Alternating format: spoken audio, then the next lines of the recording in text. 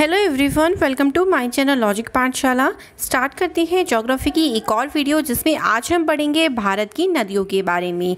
ठीक है? तो भारत की नदियों के बारे में हम डिटेल से स्टडी करेंगे तो बिल्कुल वीडियो को मत छोड़ेगा क्योंकि यहाँ भी से क्वेश्चन ज़रूर बनता है एग्ज़ाम में। ठीक है? तो पहले हम बात कर लेते हैं कि देखिए, भारत की जो नदी है, उसको हमने किस प्रकार से डिवाइड किया है?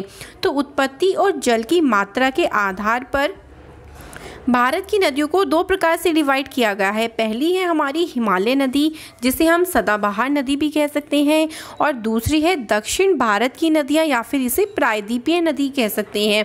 देखिए, अभी हमने इस कैटेगरीज में डिवाइड क्यों किया है? इस बारे में भी पता होना चाहिए। तो हमने इन्हें इस कैटेगरीज में डिवाइड इसलिए किया है क्योंकि जो तो हिमालयी नदियाँ होती हैं, उनमें वर्ष भर जल भरा रहता है। ठीक है तो इस वजह से इसको सदाबहार नदी भी कहा जाता है क्योंकि इसमें वर्ष भर जल रहता है और दक्षिण भारत की नदियाँ यानी जो प्रायद्वीपीय नदियाँ हैं, उनमें क्या होता है, इन्हें बरसाती नदी भी कहते हैं क्योंकि इनमें पूरे वर्ष जो है जल नहीं रहता। जब बारिश होती है तब इनके इनके मतलब इनके पानी, जो इनका पानी है, उसमें जो होता है, वो बहाव पैदा होता है, यानी उस टाइम पे इनमें पानी सबसे ज़्यादा होता है। पूरे टाइम में इनमें पानी नहीं रहता हम ऐसा नहीं कह सकते कि पूरे साल भर जो है, वो इन नदियों में पानी रहता है। तो दोनों में डिफरेंस है, इसलिए हमने इन्हें कैटेगरीज में डिवाइड किया है। अब अगर बात करें कि भाई हिमालय नदियाँ और सदाबहार नदियों में कौन कौन सी नदियाँ आती हैं तो जो हिमालयी नदियाँ हैं, यानी जितनी भी नदियाँ ग्लेशियर से निकल रही होंगी, उनमें हमेशा वर्ष भर जल बना रहे क्योंकि ग्लेशियर देखिए पिघलते रहते हैं। ग्लोबल वार्मिंग की वजह से वैसे भी अब क्या हो रहा है? गर्मी बढ़ रही है, ग्लेशियर पिघल रहे हैं।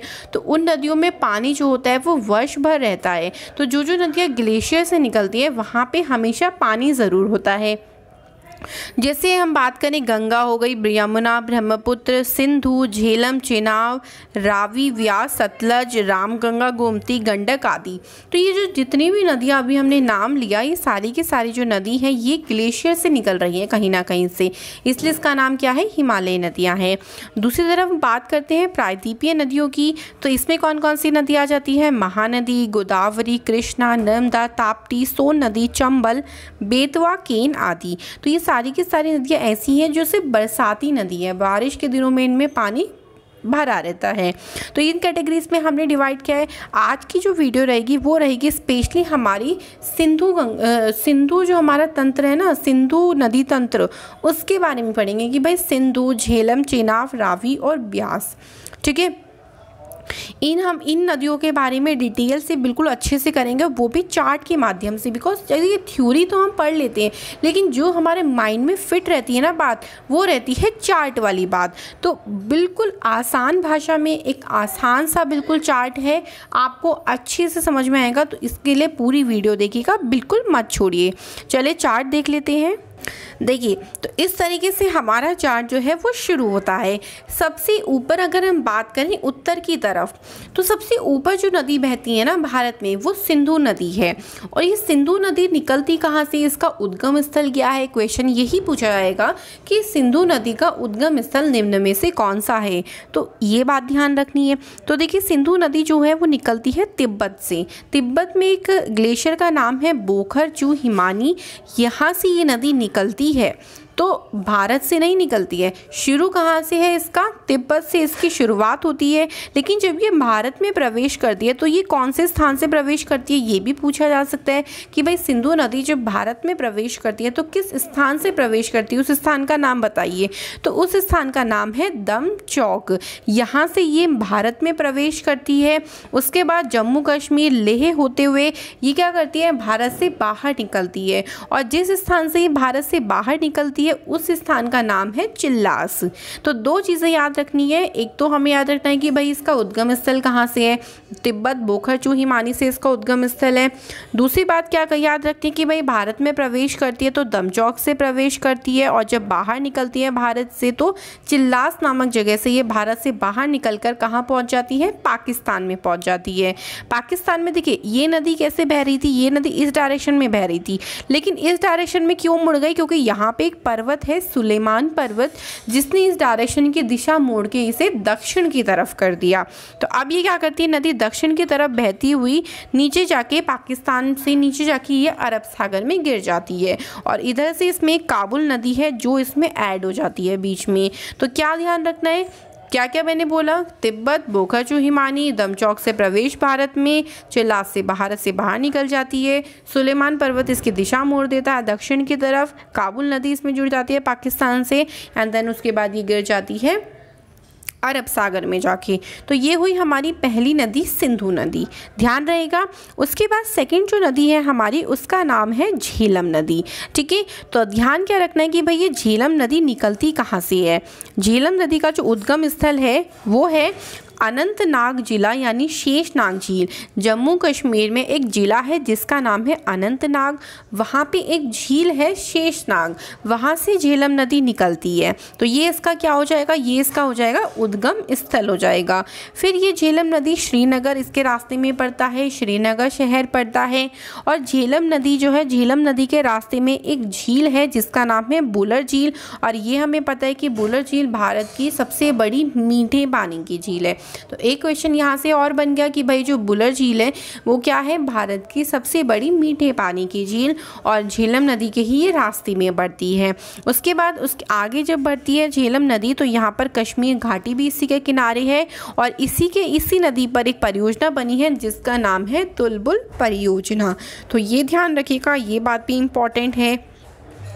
कि तुलबुल परियोजना जो है वो किस नदी पर बनाई गई है? तो ध्यान रखिएगा तुलबुल परियोजना जो है वो झेलम नदी पर बनी हुई है, ठीक है? उसके बाद ये नदी क्या है? आगे चलते हुए दक्षिण की तरफ़ जाके इधर से क्या होता है? देखिए, इधर से चेनाव नदी आती है और ये इस चेनाव नदी में आके मिल जाती है। इसका मतलब जो झेलम नदी है, वो चेनाव नदी की सहायक नदी भी हो सकती है, ठीक है? अब आती है थर्ड पे थर्ड है हमारा चेनाव नदी। चेनाव नदी, देखिए, ध्यान क्या रखना है कि भाई जो चेनाव नदी है, वो दो नदियों से मिलके बनी है।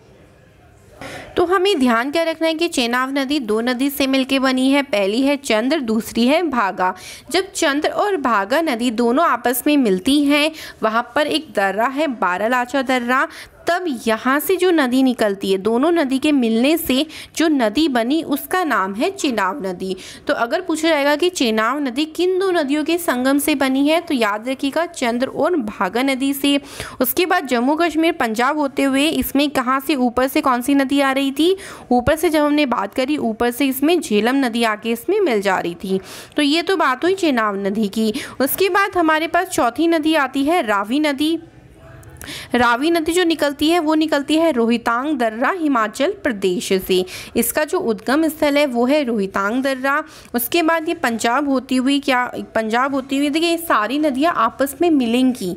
ठीक है अभी सिर्फ़ इतना ध्यान रखिए कि क्या इसका उद्गम स्थल है और कौन कौन से शहर जो हैं, वो इसके किनारे पर पड़ रही हैं। ठीक है तो इसमें ऊपर से जो नदी आ रही थी, हमारी चेनाव, वो नदी इसमें आके मिल जाती है रावी में। और चेनाव के ऊपर कौन सी थी? झेलम। देखिए, कैसे याद रखिए, इसको लाइन वाइज याद रखिए। पहले सिंधु नदी थी, सिंधु नदी बाद में जाके सारी नदियाँ सिंधु में ही मिलेंगी। ठीक है तो अभी सिंधु को अलग रखिए। दूसरी थी झेलम। झेलम मिल रही थी चेनाव में। चेनाव मिल रही है रावी में। अब ये रावी जो है वो सतलज में मिलेगी। तो इस तरीके से लाइन वाइज इसको ध्यान रखिएगा। उसके बाद अगली नदी है व्यास नदी। व्यास नदी जो है वो व्यास कुंड से ही निकलती है और ये हिमाचल प्रदेश में है। इसके बाद पंजाब में इसमें यहाँ पर एक शहर पड़ता है जिसका नाम है कपूरथला शहर। और इसमें ध्यान देने वाली क्या बात है कि जो ये व्यास नदी है, ये जब दक्षिण की तरफ़ जाती है यहाँ पे और इधर से सतलज नदी मतलब ये सतलज नदी में मिल जाती है पहले ही और जहाँ पर ये सतलज नदी पर मिलती है, उस स्थान का नाम है हरी के बैराज। काफ़ी इंपॉर्टेंट क्वेश्चन है, बन सकता है कि भाई हरी के बैराज पे कौन कौन सी दो नदियाँ आपस में मिलती हैं। तो पहली है ब्यास दूसरी है सतलज। सतलज भी यहीं से देख लेते हैं। सतलज नदी भी तिब्बत से निकल रही है। ये मानसरोवर झील से निकल रही है और इसके रास्ते में शिपकिला दर्रा पड़ता है और यहाँ पे ये हरी के बैराज में दोनों नदी आपस में आके मिल जा रही हैं। उसके बाद सतलज नदी आगे बढ़ती है और यहाँ पे एक बाँध है जिसका जो काफ़ी फ़ेमस है, भाखड़ा नांगल बाँध। तो ये कई बार क्वेश्चन पूछा गया है कि भाखड़ा नांगल बाँध जो है वो किस नदी पर बना है? तो याद रखिएगा, सतलज नदी पर भाखड़ा नांगल बाँध जो है वो है। इसके बाद अगर बात करें तो जो हरिके बैराज था, यहाँ से इंदिरा गांधी नहर निकल रही है। ठीक है, इस बात को ध्यान रखिएगा कि हरिके बैराज से ही नीचे की तरफ़ को, दक्षिण की तरफ़ को एक इंदिरा गांधी नहर निकलती है।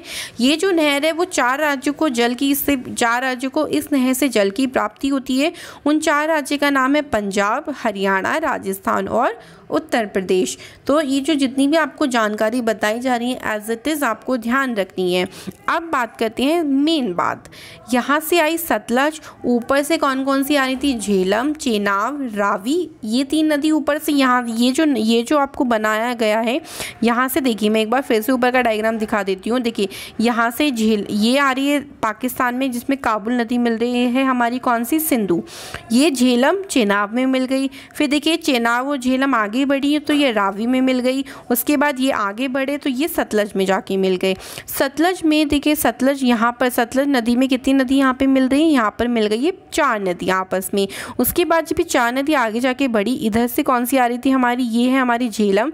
और जिस जगह पर ये पाँचों नदी मिलती है, उस स्थान का नाम उसे हम पंच नद कहते हैं। पंच नद का मतलब पंच का मतलब पाँच, नद का मतलब नदी। और जिस स्थान पे पाँच नदी मिलती है, उस स्थान का नाम है मिठान कोट तो ये काफ़ी इंपॉर्टेंट क्वेश्चन है। अलग भी है कि भाई जहाँ पर पाँच नदी मिलती है, जिस स्थान का नाम पंच नद है, वो पाँच नदी कहाँ पर आके मिलती है, उस स्थान का नाम क्या है? तो याद रखिएगा मिठान कोट उस स्थान का नाम है। तो आप क्या करिए, इस डायग्राम का पूरा स्क्रीनशॉट अच्छे से लीजिए। métier क्योंकि देखिए डायग्राम ही आपको ध्यान रखना है। अब मैं इस डायग्राम में एक चीज़ और बताते चलती हूँ कि जो सिंधु और झेलम, यानी सिंधु और झीलम के जो ये बीच का स्थान है, ये वाला स्थान, ठीक है? इस स्थान का नाम है सिंध सागर दोआब। तो पूछा भी गया है, पूछा भी जा सकता है कि भाई सिंधु नदी और झेलम नदी के जो बीच का क्षेत्र है, उसका क्या नाम है? तो सिंध सागर दोआब है उसका नाम। इसी तरीके से अगर बात करें, झेलम नदी और चेनाव नदी के जो बीच का स्थान है, उसका नाम है चाज दोआब। और चेनाब और रावी का स्थान है रेचना दोआब। रावी और व्यास के बीच का स्थान है बारी दोआब।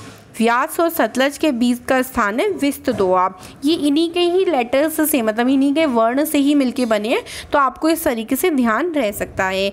तो बिल्कुल अच्छे से इस चीज़ को ध्यान रखिए। हमने सिंधु गंग नदी तंत्र पढ़ा, जिसमें सिंधु, झेलम, चेनाब, रावी व्यास सतलज। ये नदी आपस में आके सारी मिल जाती हैं, जिस स्थान पर मिलती हैं, उस स्थान का नाम मिठानकोट है। तो होप आपको वीडियो पसंद आई है आज की, और इसी तरीके से हम आगे भी जो नदियाँ पढ़ेंगे वो चार्ट के माध्यम से पढ़ेंगे, क्योंकि ये माध्यम सबसे आसान तरीका है पढ़ाने का, और इससे याद भी जल्दी हो जाता है। होप आपको वीडियो अच्छी लगी होगी, मिलते हैं अगली वीडियो में। तो चैनल को लाइक, शेयर, सब्सक्राइब करना बिल्कुल ना भूलें, और बेल आइकन पर क्लिक ज़रूर कर लें। इससे पहले कि जोग्राफ़ी की अगर आपको वीडियोज़ देखनी है तो आप जोग्राफ़ी की प्ले में जाके सारी वीडियो वहाँ से देख सकती हैं। मिलते हैं अगले वीडियो में। Thank you